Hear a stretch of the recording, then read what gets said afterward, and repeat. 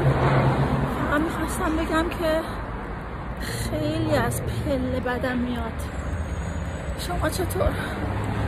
کسی هست که این همه از پله بدش بیاد؟ خدایش خیلی سخته. یعنی کلا اصلا پله باید تو این دنیا ممنوع بشه. به نظر من البته. پله رو باید ممنوع کنن.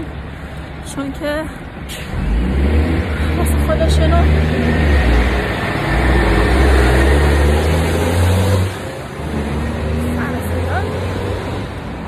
چون که واسه خودش یه دست شکنجه است. واقعا مخصوصا اول صبح.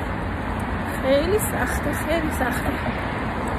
خب به امید روزی که هیچ پله ای تو این دنیا نباشه و خیلی راحت بتونیم به مقصد برسیم.